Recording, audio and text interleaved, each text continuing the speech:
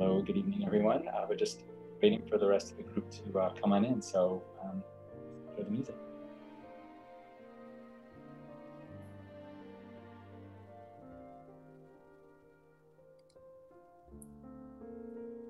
It's true. I just saw the, the, a comment, the floral floral Oh. outfit coordination. Just that's just natural. That's just um, we didn't even plan that. We're just Nope.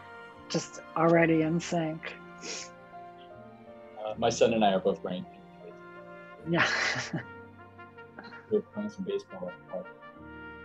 Commented, oh, you guys are matching. All right, we'll just wait another couple minutes.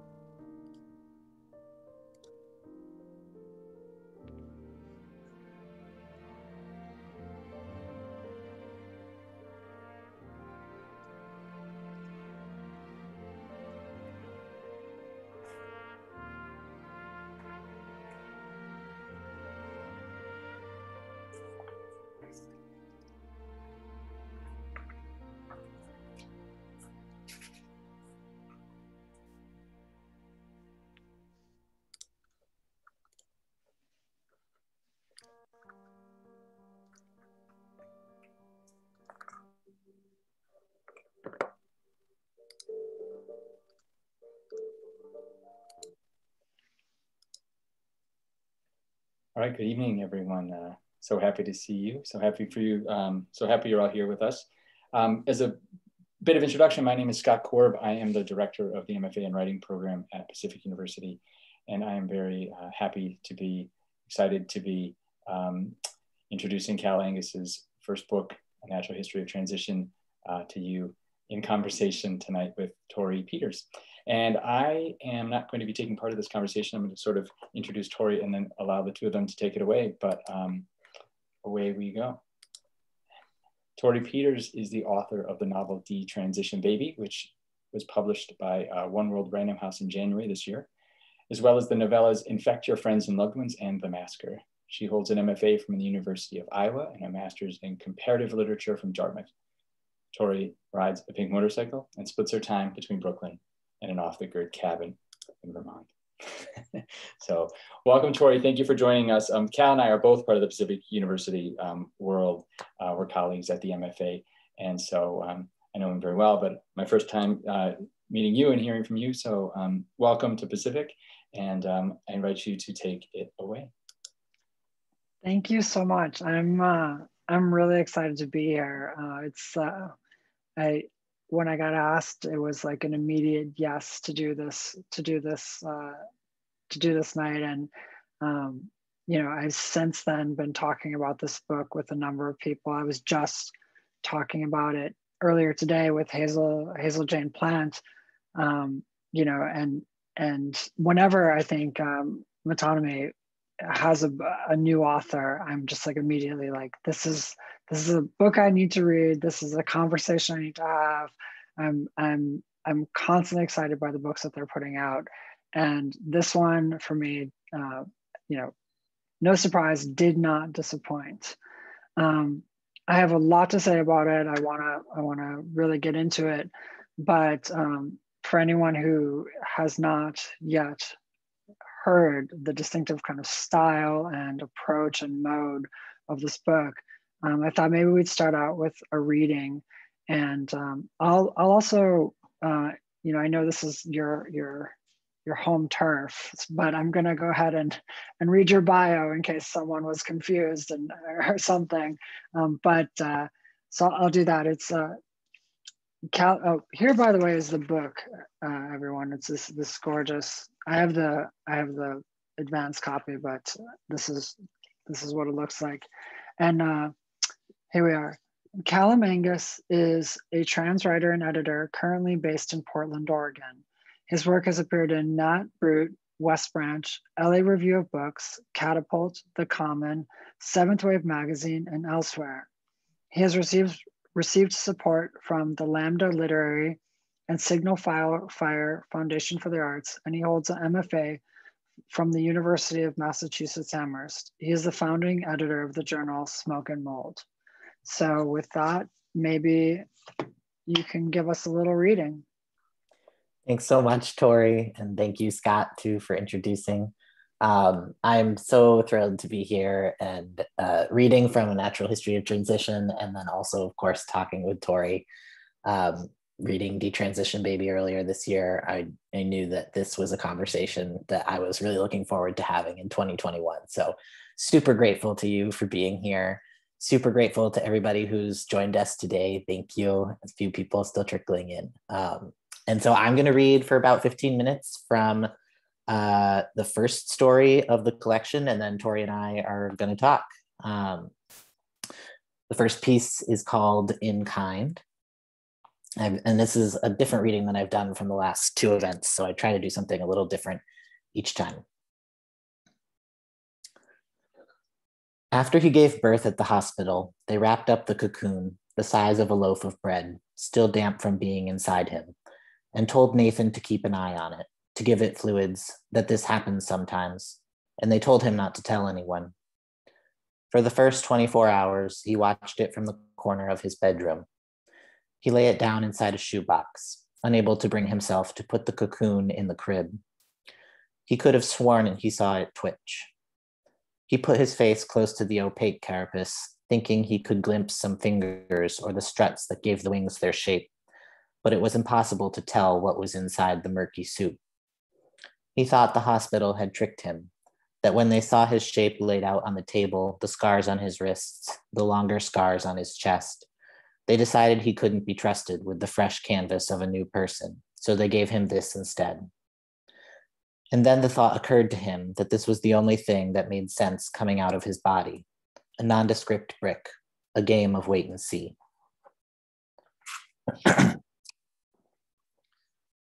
Dot had seen her son in person only three times since learning over the phone about Nathan's desire to live as a man.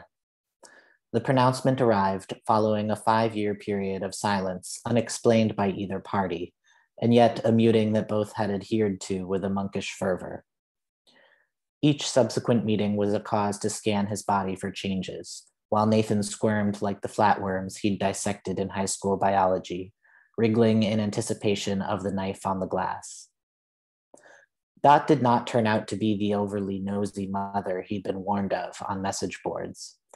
Nor did she appear squeamish when he explained the process of his weekly injection to her over brunch. She observed him coolly, like a gardener monitoring the progress of a patch of summer squash. Not a prize vegetable, but one valued for its high nutrient density that would freeze well for winter. As the only child of a single mother, Nathan had been relatively certain that Dot couldn't afford to cut him off completely.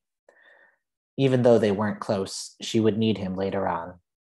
Already her back throbbed during her rounds as a nurse in the ICU. It was at their fourth meeting as mother and son that Nathan gathered the courage to tell Dot about his plans to become a parent. She sat expressionless as he ran out of breath, explaining that he didn't want to wait to find the right person.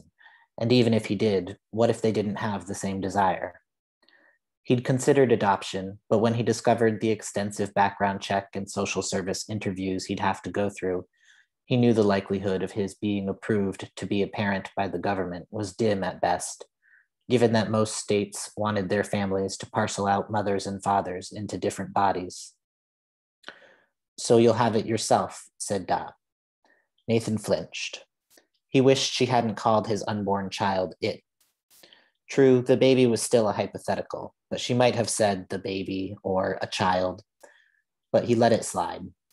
Perhaps he was simply oversensitive ever since the time his mother, flustered in the crush of traffic and without any cash, had called him it to the toll booth operator. Yes, said Nathan. I've still got all the parts. Once I start menstruating again, it could be a matter of weeks. Why would you want to be pregnant? Have you been listening? I don't want to exactly. The thought of pregnancy filled Nathan with dread, but he was going to do it because it was the only way. For his whole life, he'd felt like the corks in one of those coffee tables compressed under glass, a smooth surface, but the contents under pressure, and he wanted to be something, to do something explosive, something to break the glass. But if he'd said this aloud, Dot would have asked why wasn't his first transformation enough? And if he was going to be a mother, then why had he transformed at all? And then he wouldn't be able to do anything except leave lunch hungry and full of adrenaline. Nobody likes being pregnant, she said, leaning over and giving him a pat on his clasped hands. You'll endure it just like anybody else. Nathan understood this offering of tacit approval and wanted to know if this meant he could ask her about her own pregnancy. What had worried her? What strange foods did she crave? And did she eat them in bed or in the tub? But Dot snapped closed her, pack, her pocketbook. The waiter came with the signature copy, and the moment dissolved. She put on a tight lipped smile as she tipped 10%, and in the waning minutes of their fourth meeting, she collected her detritus from among the empty plates phone, compact, credit card, purse, until she was a self sufficient planet once more, with her own center of gravity, no longer feeling the destabilizing pull of the man who used to be her daughter. As soon as they rose and walked from the patio table, a flock of tiny sparrows took it over, chattering softly as they hopped from chair back to tabletop for the leftover crumbs of bruschetta. They reminded Nathan of his mother's birds, who showed up daily at the feeders outside her kitchen window. Dot refilled the feeders every day, cigarette gripped in one hand as she made sure the large metal spinning discs were firmly in place to keep the squirrels away, even though they only made the squirrels work smarter for their share. She kept the bags of sunflower seeds and millet in the garage, where it smelled of musty seed and corn, in aluminum trash cans. And when he was younger, Nathan would sneak out and sink his arm elbow deep in the seed just to feel the softness, to feel the way it sucked him in and held him.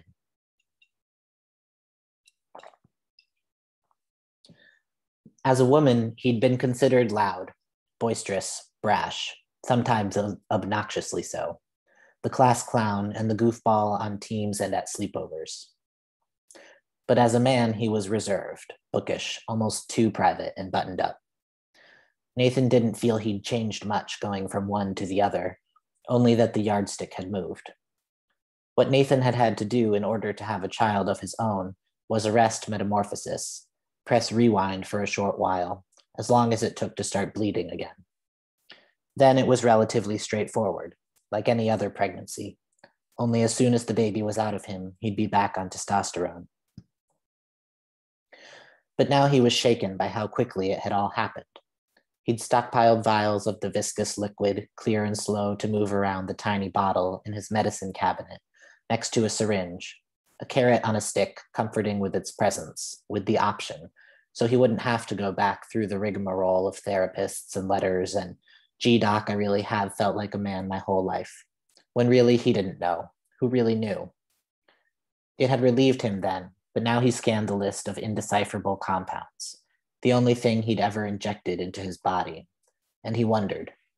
He hated wondering. But it was hard not to look at the cocoon on the other side of the room and keep at bay the thoughts of pod people. Dot felt a lump in her breast while she was taking a shower. It was small and hard, but felt like the silicone model they'd practiced on in nursing school with the tiny bean lodged inside. The rest of the afternoon, she watched the birds, thinking about several things at once. How inside her son there grew a child, and inside her a tumor. How many times she'd changed IVs and administered meds to terminally ill patients. How several of the lucky ones had said to her after their miraculous recoveries that they appreciated her bedside manner.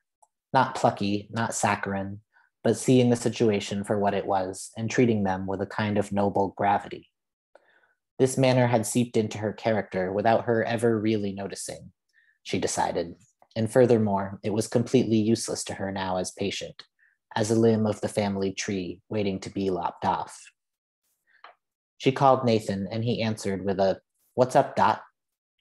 She could hear him doing something, soft thumping, as if he was kneading bread, pausing to wipe sweat from the soft part of his neck that she remembered even after years of lost contact which now was covered with coarse and patchy hair.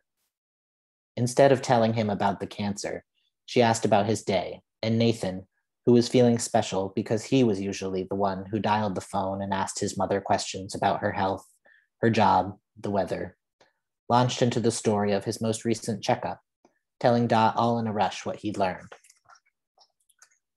Hello, are you there? He said. Yes, sorry, I'm driving. What did you say? It's a girl. Nathan paused for a beat, then let out a laugh. Isn't that funny? I mean, I'm so excited, but it's like a bad joke. Dot's favorite cardinal landed on the feeder with a flash of scarlet. It began to surgically pick out the largest sunflower seeds and crack open the hulls with its beak, gobbling the soft meat inside, discarding the black shells in a flurry of precise movement. She heard herself ask, What if I came to stay with you for a little while? Silence.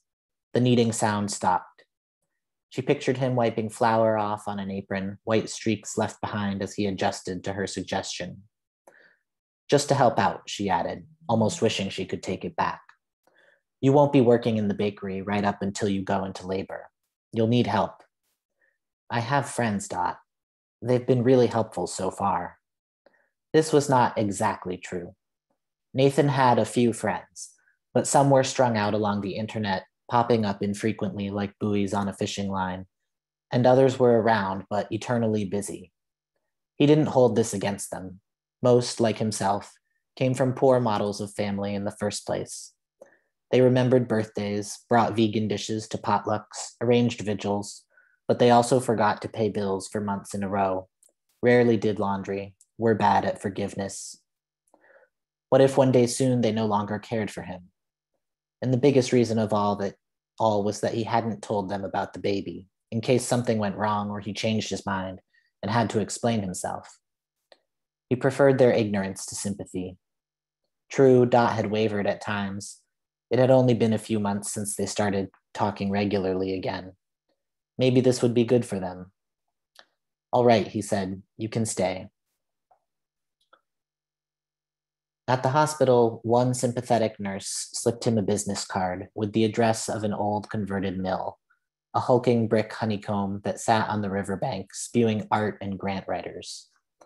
At the support group, all anyone talked about was molting, but no one knew when or if it would happen. At night, it makes a clicking noise that sounds like a katydid. My husband hasn't come home for longer than 20 minutes at a time. I don't know where he sleeps. I heard that in Indonesia, we're considered prophets, and then after it molts, they kill us and predict the, the future by which way our blood runs down the hill. Nathan rolled his eyes. He figured if there were other parents like him on the other side of the world, they were likely just as freaked out as he was, and probably just as lonely. Maybe that was it, he thought as he drove away from the mill. Maybe the lack of people in his life deprived that developing bundle of cells of any other templates and so it was left to mold and shape the leftover pieces of Nathan into a hunk of unformed clay. All I'm capable of making is more change. The sound of his own voice surprised him. He hadn't spoken out loud in the presence of the cocoon. Perhaps it would crack open, reveal its interior like a sacred artifact responding to the secret password. He looked for movement in the rearview mirror. Nothing. A feeling of defiance took hold of him then. Why shouldn't he carry this cocoon around like any other baby? He turned into the grocery store parking lot, unbuckled the cocoon from the car seat, and strode purposefully inside. The cocoon couldn't be placed in the baby seat of the shopping cart. It had no legs to anchor it in place and flopped over sadly. So Nathan cradled it in one arm and pushed the cart through the aisles with the other. He marveled at how nervous he'd been during his pregnancy about just this sort of mundane activity. How he would look a man holding a baby on his hip, how everyone would assume the child held only his genes and not the memory of being inside him. Now that old fear was gone completely, for it was clear to him that people would either run away in horror or have their worst thoughts confirmed that such a monstrosity came from him alone. I'll stop there. That was amazing. Thank you so much. I um I, I love that story. I, I mean I love all of the stories, but um I think that one's a really good one uh to for this because it, it actually leads right into my first question. Um, you know, I think a I think a really typical question that writers get is like, you know, why did you why did you want to be a writer? How did you become a writer? But for me, when I when I read your like, and that's a kind of a generic thing, but when I read this story, I like genuinely wondered to myself, like, how did you become the writer that you are? Like, how did this, how did this particular way of approaching stories come to be? Because there's a kind of, um, there's a magic in all your stories. Like in this one, you have the the the giving uh, giving birth to to the cocoon and the molting and and all of this sort of thing, and then you have these um, precise social moments like of the sort that you know I, I would I would typically expect to find in a, more like social novel or or like a realist mm-hmm. novel. Mm-hmm. and it's for me it's really rare to find those two married so seamlessly which you do. Like how did you come to to be able to do that and and to want to do that?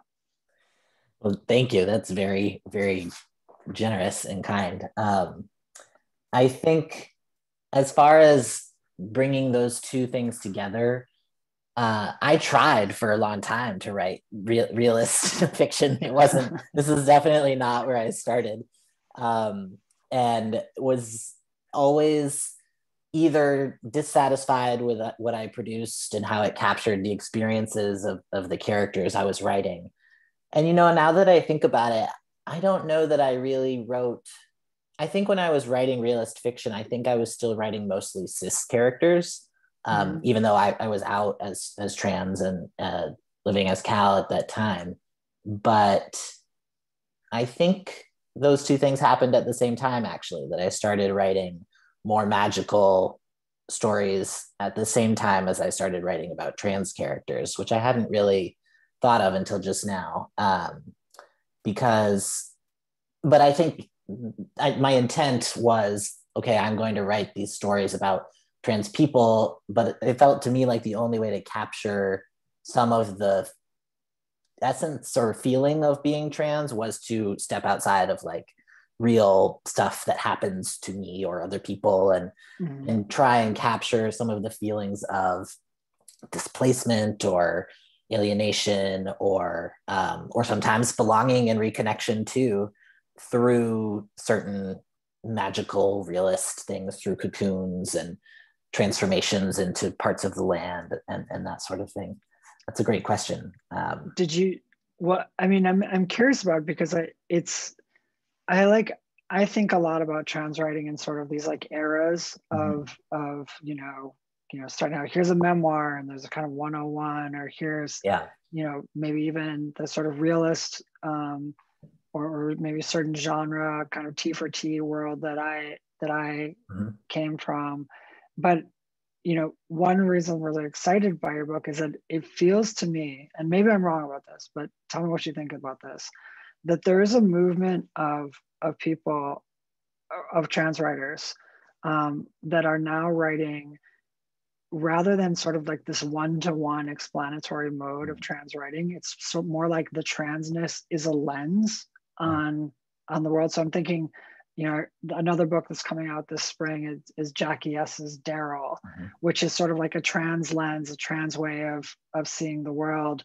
But instead of being applied to trans people, it's applied to a cuckold, you know, and it's sort of like the the whole all of these these systems and lenses. They're like, oh look, you can trans is actually a lens mm-hmm. rather than a subject matter, and um, I wonder, do you see yourself as as part of something like that, where you're like, I'm actually don't need to tell this story. I'm I'm trying to do something different with transness, and if so, like how?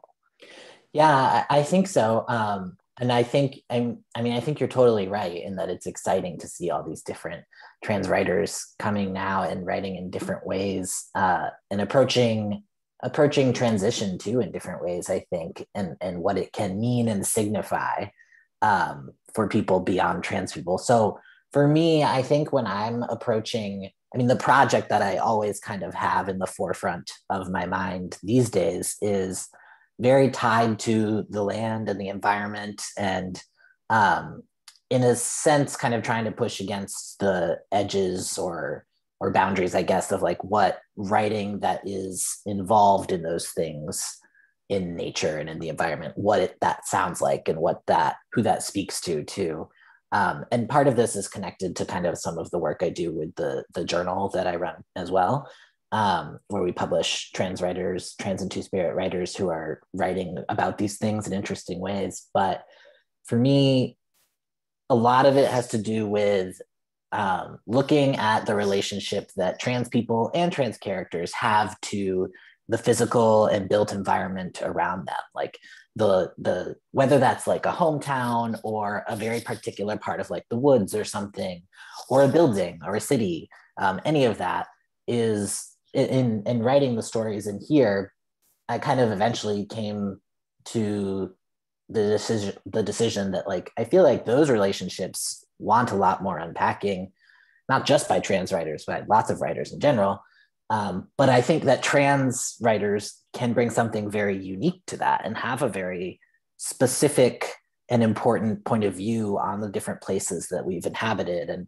and that we've either loved or lost too by by having to leave places behind sometimes as well.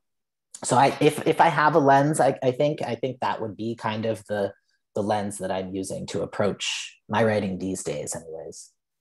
Yeah, that totally makes sense. I mean, it's it is interesting to me not like i've been thinking a lot actually during the pandemic about how in sort of the popular imagination i think that um, trans, the trans experience is, is imagined as an urban experience and mm. sort of like and there's a sameness to the to that urban experience but that a lot of the books that i'm reading also like i'm thinking uh, uh, T. Fleischmann's like time is a thing that a body moves through. It, it's describing transness mm-hmm. and and not you know the non-binary experience in a rural setting and and moving from like urban and rural places to to flesh that out um, but so it's it's cool like i see what you're doing when you're saying that but there's also a kind of um, method that that while i'm seeing this as a part of uh, a part of maybe other things that are happening and there's resonances with other writers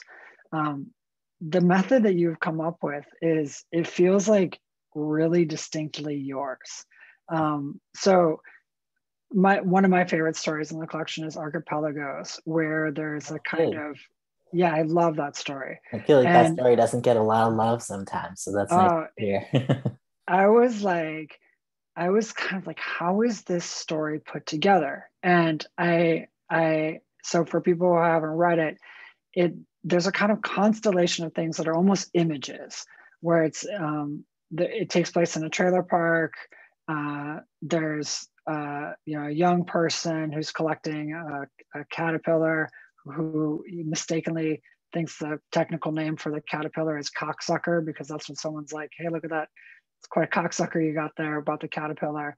And then there's it starts out again in this, in this sort of realist social mode and then there it moves into it's it's in Vermont, or correct me if I'm wrong, like sort of New yeah. York, Vermont area, which used to be a an ocean, and the and the mountaintops were archipelagos, and uh, the it sort of moves through there, and the the ocean that takes place in the past kind of moves to the present. There's like a, a wrinkle in time, and there's a way in which the the protagonist sort of moves through this in its associative way. It's not explained how it happens to me. I felt like moves into the past, into this ocean, which may be death, which may be something beyond. And then there's the butterfly that was the cocksucker, who on the end of, at the end of the story has holes in the wings that are the map of the archipelago. And so I'm basically like, there's a magic. Like I read the story and I was like, there's a magic that ties this world together. Like there's like it feels like there's almost a metaphysics to it that I'm like this this all works. And yet if you were to ask me what are the rules of this word, world, I wouldn't be able to tell you except that it, like it feels like it works. It feels like it makes sense. And my question is like a really simple question which is like how did you do that? Like how did how did that did you make a rule book for this world? How did you like come up with the images? How did you put things together so that they resonated but were like completely surprising and and retained their mystery? Well that's a beautiful question. Um, thank you. And i i think i like that you call it a series of images. Um, and i i think you're right. I hadn't quite put that together with how that story you know, it's about this little boy who is collecting for his own personal kind of museum uh, you know and he has a very distinct way of looking at each thing separately and keeping them separated. And so I like the idea that also this story gives you sort of distinct separate images that then maybe hopefully co- coalesce into something larger. Um, but when I started writing that story, mo- and like I write most of my pieces is with one image or uh, one sentence, and I was actually reading a interview or I this is where I think I got it. But anyways, the story is I was reading this interview that was between Nan Goldin was interviewing David Wojnarowicz. Um, and they were talking about photography and also animals and nature and kind of talking about his relationship to rural spaces. And then he said in that interview that there was a period of time when he was very young when he mistakenly thought a certain kind of caterpillar was called a cocksucker, um, which is was I was like, okay, I'm gonna take that, thank you. Um, and I have that interview. It's in a book on my shelf, and I've poured over it many times now, and I can't find it again. It's not in there. I swear to God, it's gone. That's the mystery. I tell you, that story is mysterious. Yeah. exactly. I it's like deleted from reality. So, um, that said, uh, I think that when I wrote that story, it's actually the first story I completed from this collection. Um, nothing, I had no idea that there was going to be a collection. I was working on a totally different project. Um, and this just kind of came out on the side. And it was the last piece that I wrote when I was still in the MFA. Um, and I wanted to have kind of a, a very clearly articulated sense of this place the violence of the place sometimes um, between the boys, between the mother and her her um, boyfriend, um, but then also some way that there's the character of Robin, who's this, you know, I mean, she's not identified as having any particular identity position, but she calls herself, um, she identifies herself as Rob to the other boys. Mm-hmm. And so she has kind of a double uh, double life or double identity in a sense. Um, and that character was very clear to me too. And so I wanted to create a world where she could maybe find some happiness, some excitement, uh, some relief from some of the stresses that were happening around her. And I think that was the motivation for wanting to like make something much more unusual, some big rupture in time happen in this kind of, you know, sometimes very intense and not drab, but uh, draining world that yeah. sort of stressed those two kids out. Um, I don't know if that answers your question really. No, but... it does. I mean, that is, I mean, because I was sort of like, how, how, would I do, how would I write a story like this? Like, you know, is it, do you, do you, would I, if I was to try to do something like this, would I find striking images, you know? Mm-hmm. And the, the, the thing that's, that's cool to me about it is I read um, I read your recent essay. Um, tell me the title of that essay about maple sap uh, and climate the, change. The climate of gender. Yeah. The climate of gender. Thank you. And, and where was that published? I'm in, sorry, I should have this offhand. That's okay. It's in Catapult. Uh, on in Catapult. Monday. Yeah. That was an incredible essay, and the thing that was you know, I read this book that I was like, wow, this book, you could only do this in fiction. These moves, you know, this magic, only, only, only in fiction would that work. And then I read your essay in Catapult, and I was like, you did the same moves in in nonfiction. Like, and there's a there's a kind of magic in this in this essay that I would have only thought where there's an associative logic.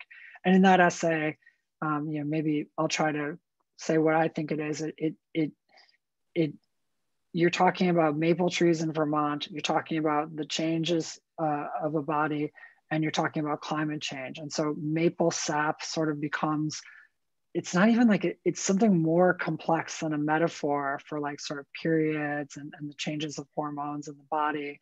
And that transition and climate change also kind of become the forces that act on either maple trees or your body and um and i i was like this is this is completely magic and it's also uh it's no no laws of reality have been broken you know?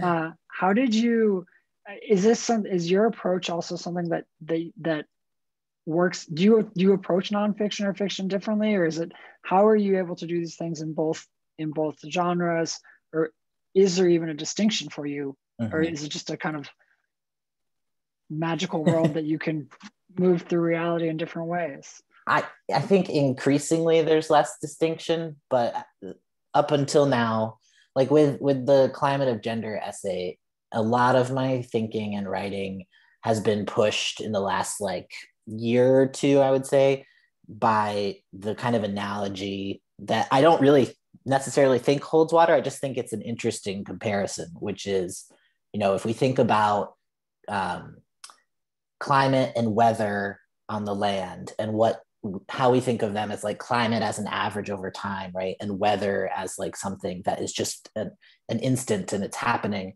And then if we take that and kind of compare it to how do you know gender and sex interact on a body and like is gender like the climate is sex like something that happens as like a interruption into that um, and that started a lot of this thinking and the associative and really broke through something for me where i was trying to have some kind of relationship with the environment and the land and all these images and and you know places and things. And uh, but it was hard as as someone who very deeply also doesn't believe in any of the sort of wilderness purist bullshit. And and as a trans person i think at least me personally i believe very strongly in like you know what i am isn't like weird or unnatural or mm-hmm. anything and so when i started thinking of it in terms of of that it just like broke something open for me and started making me associate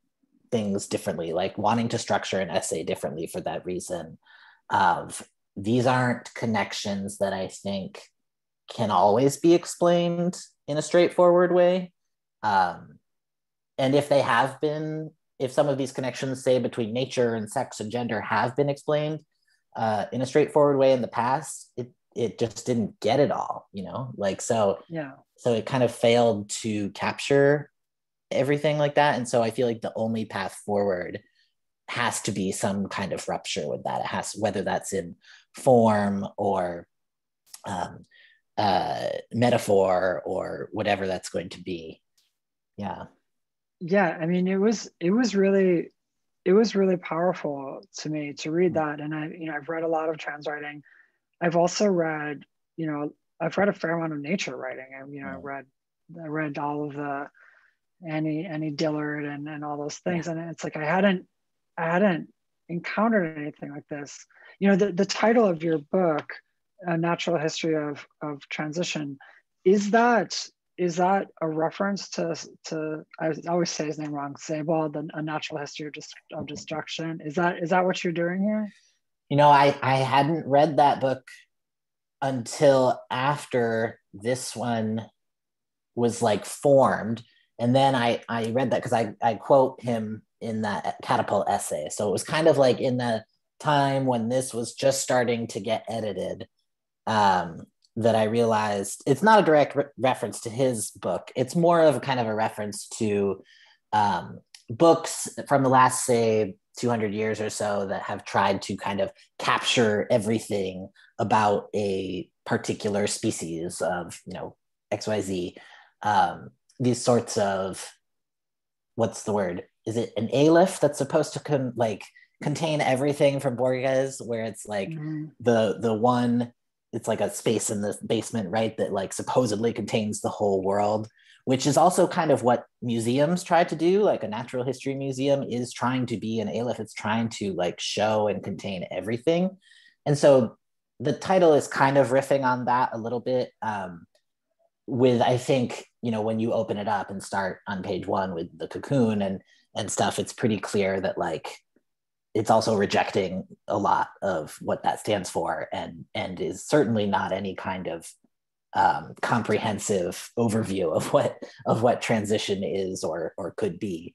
Um, and I think too, you know, I think because I'm a trans writer and and I write a lot about my own transition in my own life, the obviously the re- the obvious resonance of the title is about like transition for trans people, but I am excited at other ways, that, other things it can mean too. Like it's, I think there's a way to read this book in which it's transition is not just that kind of transition. It also can mean other movements from one thing to another.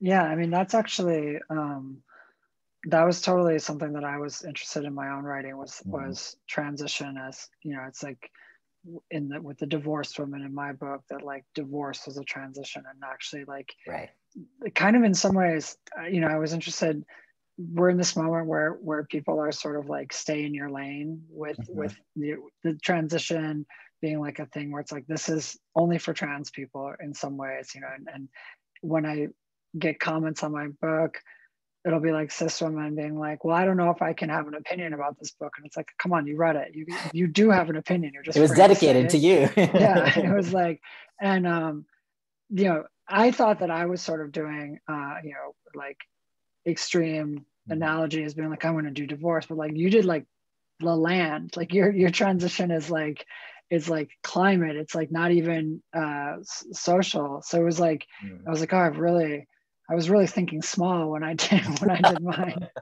um, and that was one of the reasons i was excited to talk to you was because i was interested in how the different ways we've both approached transition um, and and presenting transition to the public too right? Because mm-hmm. it's it's not like we're just writing about it. We also know in crafting these books that there's a certain way it's going to be seen by the public and we want them to come away with some expanded notion of it. But we're doing it from different directions and different angles and it was really exciting to me um, in, in that sense. Yeah and i think it's also interesting you know the ways that you've created sort of this, this a circulation of this stuff. You know like for me i started out with self-publishing and it was because you know now it's it's random house or whatever but but early on it was i was self-publishing because i really wanted to get i wanted to get stories like what you just said into readers hands in a really particular way. And i wanted to shape it. I wanted to shape not just what i wrote but the ways the books were distributed and circulated. Um, and that that I think was actually, you know, when I asked you how you became the writer that you are, for me, as much the circulation and distribution of, of, these stories was as important to me as the as almost what was inside of them. And I'm I think a lot about how trans writing circulates as much as like what it is. Um, so to that end, can you talk a bit about your journal? Like why did you start your own journal? What was missing? Uh, sort of in the literary landscape that you're like there's this is this is how these stories sh- should arrive in the hands of readers mm-hmm. yeah I, um, and someday you know i want to talk to you more about distribution and stuff because i could go on about that sort of thing forever having worked in like bookstores and as a publicist and stuff like that's something that i can geek out about a lot but um when I was, you know, and I, I maybe I don't know. Some people are here who've been in other events. Maybe they've heard me say this before, but um, when I was pitching a novel, basically, right in the last year of my MFA, and then for another year or two after, um, it was like 20, 2016 and 17 um, when I was really kind of going hard on that. And it was a novel about two trans men who kind of reimagine the natural history of like the Rio Grande and the US Mexican border. Um, and it, it, dealt a lot with like race and uh, climate and all of this. And there was no understanding whatsoever, um, you know, from from agents that I was focusing on then about what that meant. They would be excited about the writing very often, and I would get response, um, but it just was never didn't seem like it was ever going to go anywhere. And so that was like a little bit painful, a little ego bruising at first, but then uh, I kind of decided that well, I'm going to create this audience then, or or create was a little too egotistical, but find them because I I knew that they were out there and that there were people who wanted to read this kind of stuff. I just I had to believe that, and so um, that's when I decided that I was going to start a journal and have that journal live at the intersection of trans writing and translit, but also of ecolit. And there's, I mean, there's a really, I think there's a really exciting movement going on now with kind of people who are studying environmental lit or environmental humanities or climate fiction. Um, maybe climate fiction is a little, you know, overdone at this mm-hmm. point, but um, and I'm really interested in the intersection of those two. And, and so that's what I tried to, to find with the journal. There's no limits placed on like what nature writing by trans writers has to look like uh, at all. So it's it's very open. Um, and I I think as of this year, we're starting to find uh, more readers and people seem to be really excited about uh, you know that kind of stuff. I was excited, and and I think the writers that we're finding are also starting to find their audiences. Like um, Jeannie Thornton, uh, uh, we published an essay of hers in the most recent issue uh, that was themed around fungi, and she's got her book Summer Fun coming out. Um, mm-hmm. and so, you know, not only does it feel like the journal is starting to find people, but like, you know, like we said earlier, these trans writers who are approaching things differently are starting to get a more um, more attention and and realize that like people are excited about this um, there's something else I was going to say, but it, I'll, it'll come back to me uh, in a moment. I mean, that's that's so it's that's both so different than how I did it and mm-hmm. exactly the same. Yeah, yeah. I mean, it was like it was basically like um, this feeling of like I know that these writers are out there, and I'm just it's just I'm just going to figure out a way to get these stories in their hands, and I know that once it's in their hands or I had to believe. It was like how you said, I had to believe that it, it, if it was in their hands, it would matter to them because it felt so much like it mattered to me. Mm-hmm. And I, I'm really excited actually at this moment. You know, people ask me like, well, okay, when I have a book, are you gonna ever self-publish again and, and or do these things? And and actually, to me, that's still the most exciting part of this process mm-hmm. is is um, the ways in which doing things like like journals or doing things like you know little books actually create the audiences and shape yeah. it. And then like eventually sure you know maybe a large publisher notices and they're like hey can we can we fund this thing that you've been doing? But um, i'm so much more excited actually by by that kind of process. And so like your journal was like oh this is you know i would have never thought to do to do sort of nature writing or, or writing about place and and trans writing but um you know when i saw it i was like that doesn't exist. It totally makes sense. And um and it's a whole mode a whole way of like knowing um knowing one's one's body one's place that that is you know i was thinking about this in terms of even since you were talking about wg sebald like um, you know doubles wg sebald i think was trying to reinvent travel writing because mm-hmm. travel writing is yeah. so like it's so rigid and it's so like from a particular place and that you know even nature writing too it's like it doesn't have I, until i read your writing i didn't feel like there was a place for synthetic hormones in mm-hmm. nature mm-hmm. writing you mm-hmm. know and it yeah. was like you made a place for it um, and that was yeah that was really special to me. Oh, um, cool. so i'm i'm i'm really excited to see what else you do with the journal and i'm excited to see like even as there is more attention from presses what we continue to be able to do um, by creating this ourselves instead of uh, only hoping to be discovered. Um, i want to ask uh, i know there's probably questions. I'm going to ask one last question before we open it up which is um, I had I had a, Roxane Gay. I guess this is her signature question, and I didn't know that it was her signature question, but but she asked me it, and it, it made me really happy. And I had I had teased you for being overly modest uh, mm. on Twitter, which I see now. I actually missed that you weren't being modest. I just missed the thread, but but I'm going to pretend like you were being overly modest when I asked this question, which is um, so Roxane Gay's signature question that she asks all the writers is, um, "What do you like best about your writing?" Mm. I knew as soon as you started saying that, I was like, I know exactly what this question is going to be.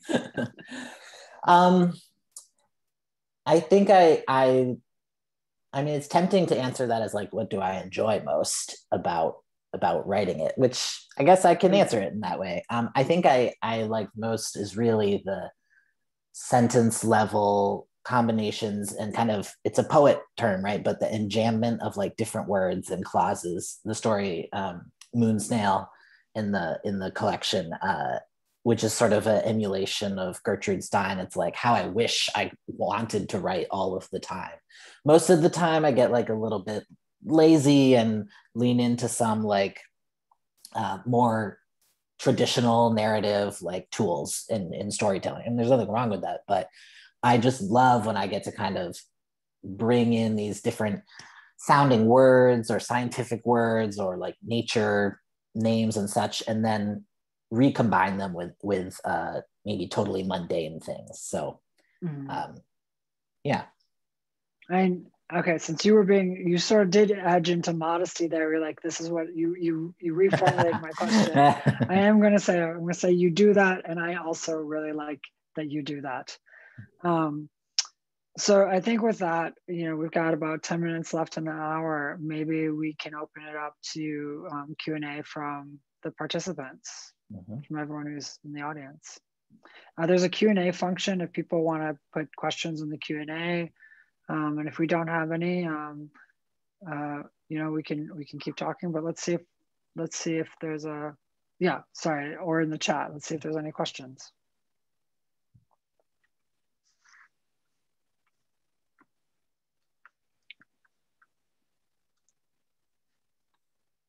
Everybody's just listening so close. Well, while people decide what they want to ask you, um, let me ask you. I'll ask you one more, mm-hmm. which is, um, which is, what are the books that you think influenced you, and what are the books that you um, are looking forward to? Mm-hmm. You know, that are maybe are coming out, or where do you see your reading going next? Ooh, that's a good question. Um, well, the, the influences, one, um, some of my big influences are Stephen Graham Jones is a huge influence. Uh, he's a horror writer, um, and he's also a member of the Blackfeet Indian tribe and teaches at uh, Colorado State, I think. Um, but he is just like so incredibly um, productive, has like reams of books to his name, and each one is like different, doing something different and crazy and wild. Um, I would really recommend. Uh, what's it called? Over there, Mongrels, um, which is like a reimagination of a werewolf story about a young indigenous boy living with his uh, uh, siblings. is a wonderful book. Um, and I think also John Keene is a big inspiration of mine.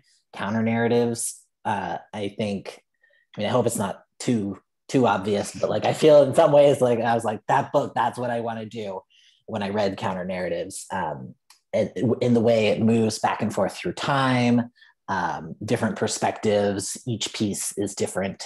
Uh, that that is something that is always interesting to me. Um, and then my reading, uh, I have it here. I just picked this up from the library that I'm really excited about. I think it just came out recently. Um, it's called Neotenica um, by June Oluchi Lee. Do you know that one? You heard I don't. I don't it's, at all. It's um, from Nightboat. Um, so I'm excited to look at that. Uh, I think some someone had posted about it on um, maybe it was Megan Milks posted about it on Instagram. Maybe that's where I saw it. Thank you, Megan, if you're here. I don't know if you're here, but um, so I'm really interested in that. Uh, and I'm also, you know, sometimes I feel like I don't read as um, new, much like new stuff, mm-hmm. like right when it comes out. Like I, I'm always going to the library and reading. I read a lot of like science stuff too. I read right now. I'm reading a lot of stuff about like evolution, um, which I think is has a lot of metaphorical uh, uh, possibilities. Um, and so especially at the at the level of like people using evolution trying to figure out like the history of the world and and of humans seems like such a strange thing and i want to understand that. So that's where a lot of my energy is going right now. Um there's others but uh i think that, I think that that's great. I think we've got some questions yeah. too so um are any any of those questions speaking to you poetry do you have background in poetry i got this question last time too hi brendan um do i have a background in poetry or any poets I take inspiration from. Um, I don't have a background in poetry aside from a couple of classes in uh, in my MFA. Um, and right now I'm reading Nick, Nikki Giovanni a lot, um, and I've really been enjoying that. Was I had not gotten into her before, um, uh, and I'm ashamed to say, but I'm really loving that right now. And then also um, Claudia Rankine is also uh, a big inspiration in her poetry, but also in her criticism and in the ways that she um, writes about race and in the life of like the mind and in literature. So that's also, she's also very inspiring to me. Um, any secondary mediums of art? Oh, that's a cool question. So, do I have any secondary mediums of art besides writing that I enjoy creating in? Um, I would say there's two. I I like in a hot in like a really amateur sense. I love taking pictures. I I I love being outside, especially and like doing a lot of photography. Um, looking at things closely. If I had like a macro photography lens, that would probably be something I would really love. But more than that, I'm also um, a quilter and I I make quilts. Uh, oh. I know it's kind of random. I just picked it up a couple. No, I love that. Um, um, that that noise is me just being like pleasant, pleasantly yeah. surprised. Like, wow, okay. That's kind of what my family was like too. They were like, we never would have thought that you would do this. uh, when I was like, here's a quote for you. Um, but yeah, I love doing that. Um, something about like putting all the pieces together not caring too much if it's like super perfect or anything, uh-huh. um, but then also just keeping my hands busy. Um, I have been thinking more about, it's been interesting. I've been thinking more about writing about quilting in some way or like how it has certain parallels to narrative and writing. Part of me wants to resist that because I'm like, just keep it a hobby.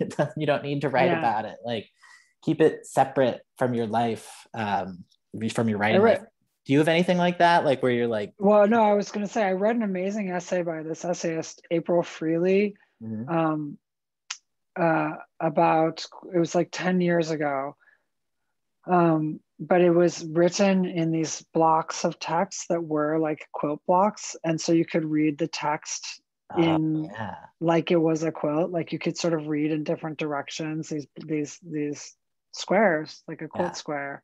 And they were embroidered that way. And it was like it was a cool approach to writing the quilting approach to writing i want to see that. If you remember what it is send it send it to yeah me. april april freely but oh, um that's right. You said okay anyway i'll send it to you uh, that's, yeah, yeah. on the side um I'm, I'm curious about this question from um, D- Devora. I apologize if I said your name wrong. Uh, but um, Cal, you've written and spoken before about switching gears when having less success getting published. I'm wondering if there's a project you started that you put aside and are still hoping to return to that you're willing to mention. Also, I'm so excited to be here and hear from you. Thanks, Devora. Devora's an old college classmate. Um, so nice to see you here. Um, yeah, I, I don't know that I'm going to go back to, uh, I, I'm still in the mode right now of like moving forward and like not going back to old projects. Uh, that may change. I think there's one project that I haven't gotten very far in that I might return to, which is a young adult novel, um, which is not something I've written before, but I have a very like clear idea in my head of what it would be. It still has a lot of this kind of magic in it and also kind of real world stuff. Um, but I, I don't really want to talk about it too much because of the kind of writer's suspicion of if you speak it, it will then disappear from your mind. Um, but that's one thing that I might return to uh, if I have time in the coming years or two. Um, is there is there one more question you want to take, or we're we're at the hour right now? I don't no, want to keep hour. keep everybody, but um, maybe one more. Um, let's see. There's it's a nice question here that might be nice to talk about. Um, says from an anonymous attendee Hey, Callum, I'm, I'm not out yet as a trans guy, but I just wrote a book about being trans. I feel a lot of pressure to come out before the book does, though, because I'm afraid people will accuse me of it not being own voices. Do you have any advice in that area?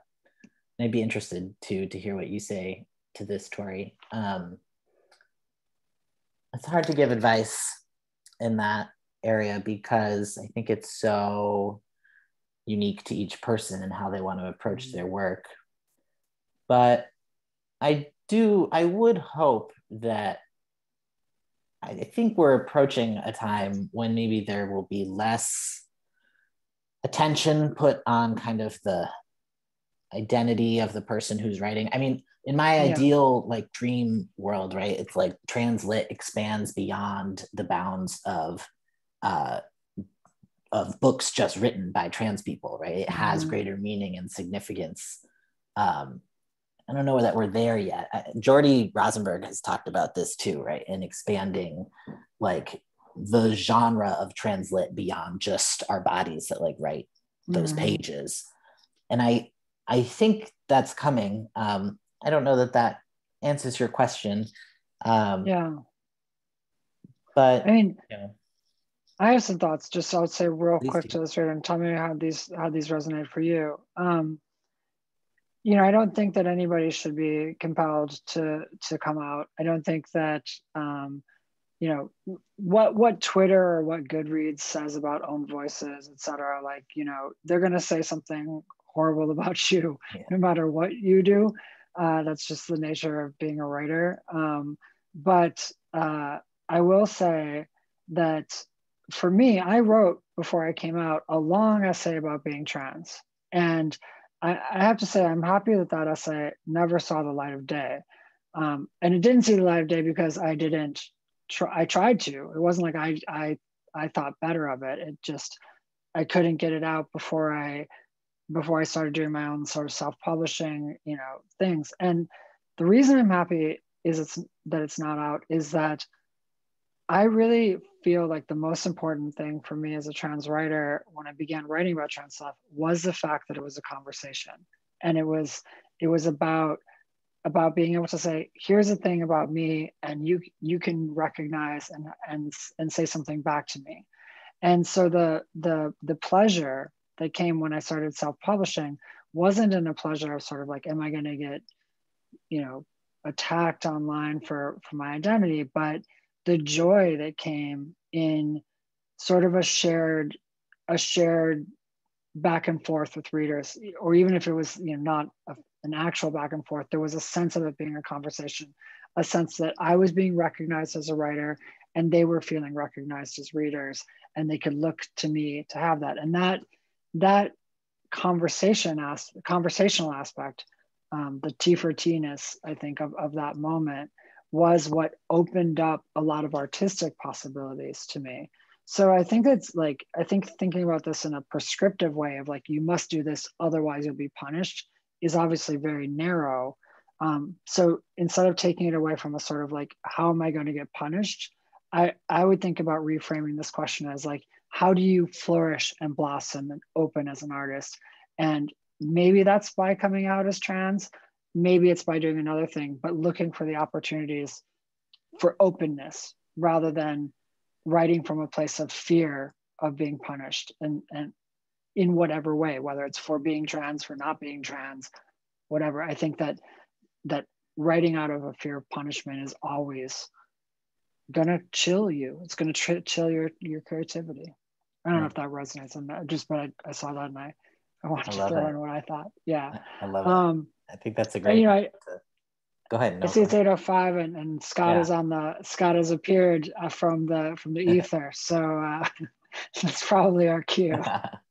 oh, it was just a really wonderful. I mean, I, I, think Cal was about to say it was a wonderful point to end on. It was really uh, lovely and so totally resonant with with all that I am trying to think about these days is not writing out of fear and not, you know, just trying to be courageous and flourish. And so, um, Cal, congratulations on a really, uh, well, a wonderful flourishing book.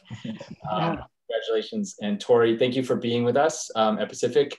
Um, it was a real pleasure to have you as part of our community and, and then to expand our community out to all the people who, who, who um, don't know Pacific and maybe uh, have come to know it a little bit better now. But, um, but really, Torrey, this has been a great night. Um, thank you so much for appearing with us. And Cal, um, congratulations again. And good night to everyone. Thank you so much. Thanks, Scott. Thank you, Torrey. This was such a joy. I am thrilled and look forward to talking sometime in the future more about all this. Thank you, everybody, for coming. Yay. Thanks, everybody. Thank you, everyone. Thank you for having me. This was amazing hospitality, and I, I appreciate I appreciate getting to talk to you both so much. Thanks, everyone. Good night. Bye.